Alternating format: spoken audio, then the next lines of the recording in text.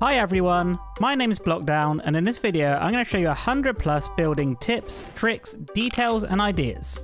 First up, we're going to take a look at roofs. You might find yourself at this stage with a build.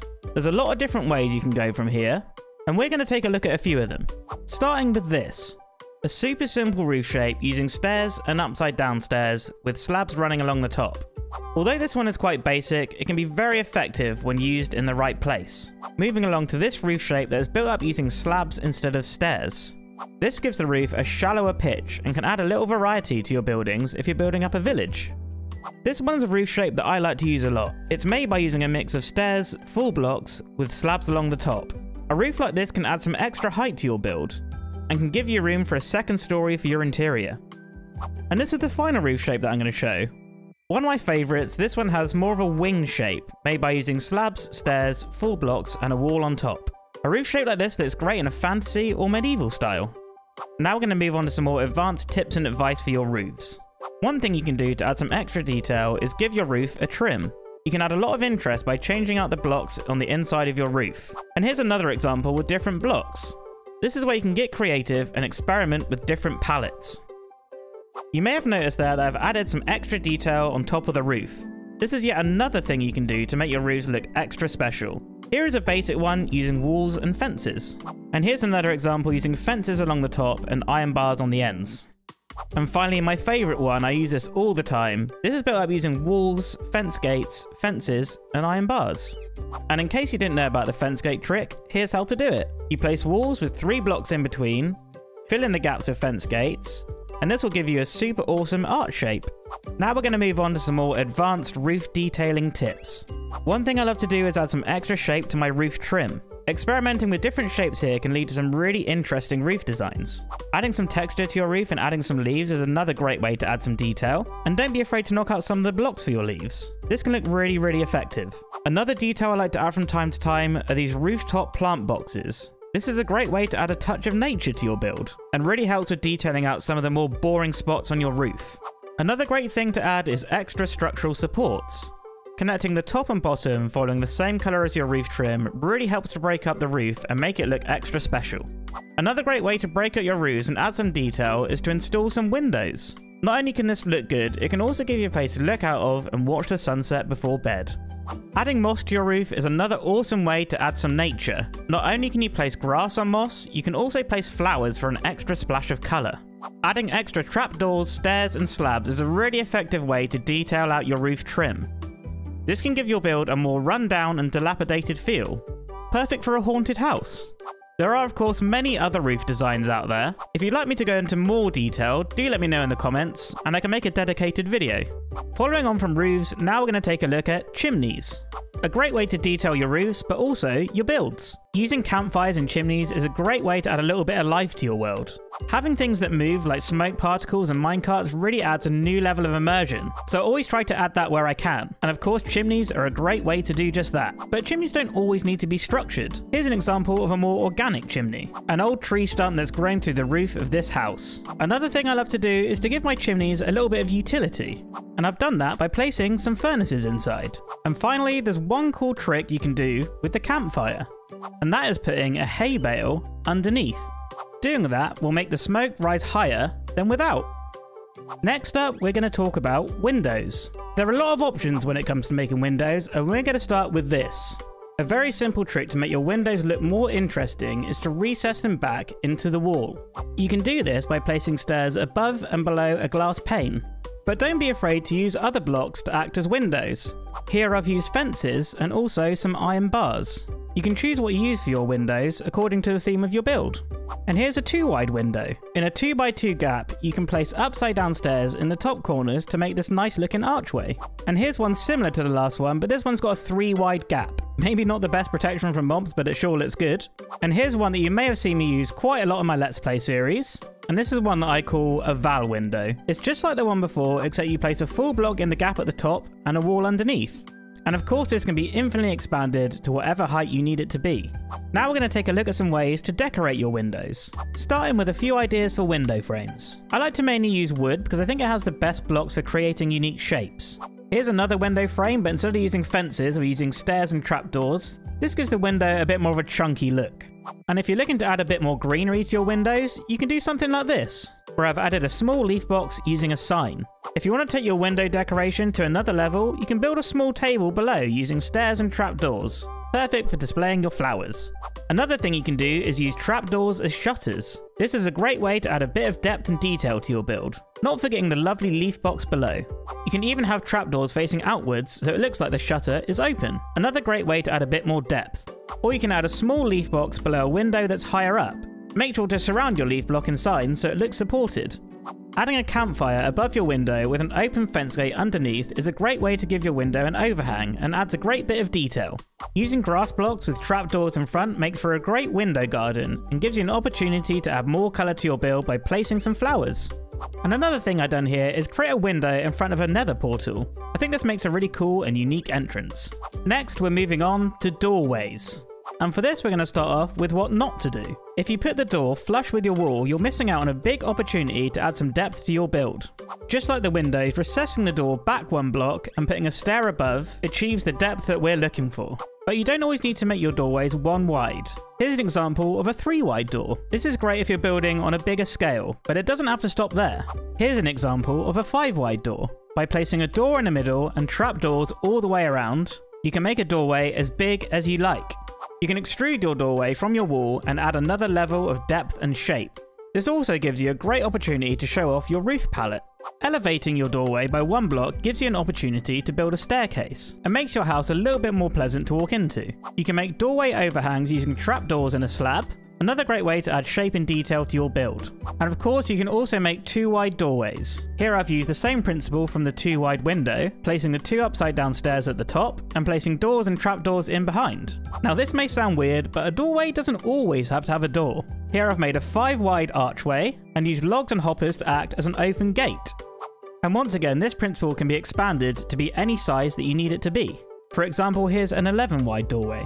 And one more thing you can do for your doorways is add a little bit of a frame around it. Here I've used stairs and trapdoors to make a little circle, perfect for a hobbit hole. Next up, we're going to take a look at paths. Starting with a really simple one, just a boring straight path block that you'd make with your shovel. Or you might do a similar thing with coarse dirt. These may look great in the right setting, but there are some things we can do to spice it up a little bit. Starting with giving your path a little bit more of a natural shape. Trying to avoid too many straight lines will give your path a more organic feel.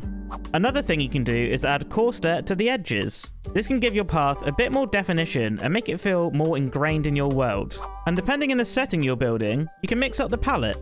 Here's a few examples. Another thing that I like to do to my paths is add some decoration on the edges, and as you can see here, I've added a few spruce fences. If you want things to look a bit more lush and overgrown, or just want a splash of colour, you can replace some of the fences with leaves. On this example, I've gone with more of a broken down wall feel. I think this can work really well for a built up farm area. And here we got a similar vibe to the last one, but we're using wood instead. Maybe this will look good for a pathway in a forest. Another thing you can do to spice up your paths is add a little bit of vegetation. And here I've done that by adding a little bit of grass. And one more thing I love to do on my paths is add some stone buttons. They look like little rocks, but maybe you could use one to trigger a redstone contraption. Now we're going to take a look at building shape and ways you can improve yours. The first thing I want to show is a lean-to. This is a super easy and effective way to add a bit of shape to your build. Just built up by using slabs, fences and walls, you can make your build look a little bit better and have a place to store your things. Another great way to add shape is to add a hanging sign. This is a great opportunity to get creative and come up with some really unique shapes. You can also add towers to your buildings. This is something that I do quite a lot, but it's a really easy and effective way to make the shape of your building more interesting. Adding leaf overhangs to balconies and also on the side of buildings is another great way to add shape and also a splash of colour. Add a mix of leaves, campfires and trapdoors and you can make your own just like this. Add a garden wall and archway entrance on the side of your building, an easy and effective way to add structure. Variation in height is another great way to improve the shape of a build, and here's an example of that. A staircase leading up to a lean-to shape. Here's another example on this archery range. Having different height towers and main structures make a build look more pleasing to the eye. With all these tips combined, you can create awesome buildings like this. My villager trading castle. Though this might look overwhelming and complicated, it's really not. It's just a bunch of boring shapes mushed together with some of the added shape details that I've just shown you. And once you understand the basics of structure and shape, you can let your imagination run wild. Now we're going to talk about farmland. There's lots of possibilities and options when it comes to your farmland areas, and we're going to go over a few of them. Starting with a few farmland wall ideas, like this one that's built up using logs and leaves.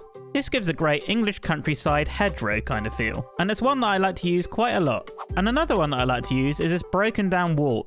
Built up using a bunch of different stone variants, it may look a mess, but when done in the right way, it can look really, really great. Just make sure to have the inside at least one and a half blocks high Otherwise your cows are going to escape. And if you're going down with the broken down wall feel, why not try making a broken down archway? Something like this can really make your farm entrance stand out. But not all your farm areas need to look organic and run down. Here's an example of something that's got a bit more structure and is also sunk down into the ground. This may not seem like the most humane way to keep your cows, but they are certainly going to have a hard time escaping. Now let's take a look at some ways you can detail your farmland. Starting with maybe an obvious one, hay bale piles. A simple and effective way to add something a little bit special, and it's an opportunity to play some lighting as well. Why not add a scarecrow to your field? We may not have crows in the game, but at least if they're ever added, you know your farm's going to be safe. Storage carts are a great way to add a bit of detail to your farmland, and you can also use them to display what's being grown in your field. Adding trees is a great way to break up what may otherwise be a boring looking field. Nice and simple, easy to do, this is a slightly customized large oak tree. Another thing I like to do to break up a field is to add some of these rock formations. Yet another simple but effective detail. Adding a small storage shack to a field not only gives you something else to look at, but also gives you a place to store your crops. And if that's not big enough for you, then you can build something like this. Surprise surprise, a bigger storage shack. Try adding paths that run through your field. I have one here that runs to the large storage shack. This just gives you an opportunity to actually walk through your field. But not all your farmland has to be flat. Here I have one that runs up a hill. Following the natural terrain can give your farm a more organic touch. And you may have noticed I've added a few leaves and composters. Leaves for a splash of colour, and the composters are actually covering up the water sources. And speaking of a splash of colour, adding two tall flowers to your field does just that. And if you're looking to add even more colour to your farmland, you can add small gardens like this just the other side of your farm wall. Adding old rundown buildings is another detail that I really love to add to my farmland. You could even use it as a storage area again. Or alternatively, if you're looking for something with a bit more structure, just adding a farmhouse in the area, that's really going to do the trick. I decided to add buildings that match the aesthetic of my existing farmland. And of course, one last building that's great in a farmland area is a windmill. You really can't go wrong with adding one of these. Now we're going to take a brief look at retaining walls a great way to break up terrain and separate parts of your project. And as you can see, this one here is built up using different stone variants in a much similar way to the broken down stone wall from the farmland. This is a detail I added quite a lot in my Let's Play series. But once again, not all retaining walls need to look broken down. This one made from stone and andesite has a lot more structure and would look really good in more of a city build. And here's a similar one for the last one, but this one's made out of wood. I feel something like this would look really good in a Wild West project. But really you can use this kind of thing anywhere. Another example of a situation that I'd use a retaining wall is here on these stairs. Rather than leaving it just out in the open, something like this just gives the staircase more structure. Now we're going to take a look at a bunch of extra details and ideas for you to add to your worlds. Starting with some cool decorations like this log pile. Tied down with minecart rails and a couple of trapdoors, something like this would look really cool in a tree chopping area. Or maybe even a sawmill. And here's another type of log pile, but this one's using birch. Paired with a few birch variants, leaves, and some moss, something like this would look really, really great in a forest area. And I mean, come on, look how pretty it is. Try adding something like this storage pile. Not only does this look really cool, it's also an immersive way to have some bulk storage. An aesthetically pleasing way to cover up your chest monsters. I know I'm guilty of that. Adding piles of stone is a great organic way to detail your world, and wouldn't look out of place near your mine area. To be honest, things like this will look good anywhere. Now moving along to some plant pot designs. This one's built up using a composter with two leaves on top. A really nice thing to add to your interior, but also looks great outside too. And here's another one really similar to the last one, but instead of two leaves, you add a wall and then a leaf on top. Always good to mix these things up. And if you think the wall's looking too thick, you can always add a spruce fence like this. A similar effect, but still looking great. And the last plant pot I'm going to show is this one. A grass block surrounded by spruce trapdoors, with an acacia bush on top of that, and then an acacia leaf on the very top. I really love this one. If you want to add a touch of magic to your world, you can build something like this, using an amethyst block and amethyst crystals. I use these a lot in my main area of my Let's Play world, you can see it here in the Tower of the Church. May seem like a weird choice, but it's a good splash of colour, and gave me a good opportunity to add some lore to my world. And I mean, come on, look how awesome they look. Adding small custom trees like this is a great way to add detail to your area, easy to build up, and great for fitting in smaller spaces. Having cranes coming out the side of your building is a great way to display what the building is for. For example, this one here is to store my copper. I really love to add raised plant beds to projects I'm working on. It's a great way to fill empty space or even bland spots on your build. But not all garden areas need to be raised, like this one that's just on ground level. Adding small bridges is a great way to connect two buildings. Not only can this help with your project feeling a little bit disjointed, it's also something immersive to walk through when travelling around your world. Try building one of these small wheelbarrows. A lovely detail and a nice little space filler. Adding coal ore to the floor around your smeltery area is a great way to add a bit of extra immersion. It looks just like bits of coal on the floor. I love building small wells like this, another great space filler and detail, but also a place to fill up your potion bottles. Not only is adding small lean-tos like this a great way to cover up blank walls, it's also another opportunity to add some bulk storage. Make those chest monsters look good. Not all carpets need to be made of only wool. Try using other blocks that are a similar colour. Like here, I'm using red mushrooms. Why not spice up your mine area by adding some moving mine carts? We spoke about this before, but having moving parts in your build can really, really make it feel more alive. And this is just one example of how to do that. I definitely encourage you guys to give this a go. Having item frames attached to an open fence gate is another way to display what your building is for. And as you can see, this one is for storing dirt in my village. Adding boat docks is a really nice way to tidy up where the water meets land. And not only do these look nice, it's a place to park your boat. Adding chains between barrels is a great alternative to fences, though don't do this to contain animals because uh, they'll be able to jump right over. Using raw copper surrounded by trapdoors looks like fish in a barrel, a great detail to add to your boat dock. You might have to use your imagination a little bit, and if you want to make a boat dock in a smaller area, you can build something like this. Much the same as the one before, but on a smaller scale, and also on ground level. I always love adding these when I'm living next to the water. Such a simple detail. You can use stairs with trapdoors on the end to create a little bench. You might not be able to actually sit on it, but it sure does look nice.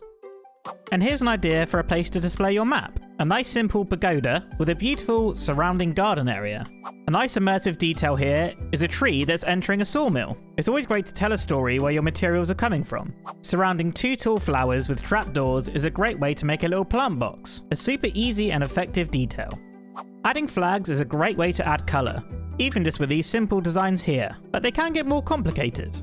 Just like this one here, made with full blocks, carpets, slabs, and trapdoors. They're not the easiest thing to build in the world, because you're really trying to capture movement. But not all flags need to be situated at the top of your build. You can also hang them off the side, like this one here. It's a great opportunity to experiment with different shapes and colours. If you're looking to add a bit of pop to your house, you can add something like this. A lovely wool overhang. Perfect for some kind of shop or maybe a bakery. Adding fletching tables to an archery range is a lovely little detail to add. It just looks like a place that you'd store your arrows. Embracing nature and adding overgrown archways for entrances adds a great level of immersion if you're going for an overgrown feel for your project. Now we're going to take a look at some gradients, like this one that goes from oak planks to a bee's nest to yellow concrete powder and yellow wool. Then we've got this one that goes from coarse dirt to dirt to rooted dirt and then to granite. Now this one's great for your overgrown feel, going from moss to mossy cobble to mossy cobble with glow lichen and then to cobblestone. This one I use a lot for terrain. This goes from tuff to cobblestone to stone and then to andesite. Then there's this one that'd be great for an ocean theme that goes from warped planks, stripped warped stem, prismarine, and then prismarine bricks. Placing plant pots on top of green glass panes is a great way to detail out a pond. They look just like little cattails. And finally, a neat little detail here. You can place a lantern or a chain and a lantern hanging off a lever. Cool. And that's everything for this video, guys. I really hope you found some of this useful. If you want me to expand on any of these sections, please do let me know in the comments and I can make a dedicated video. And if you want to be notified of those videos, make sure to subscribe, and I'll catch you in the next one. Bye!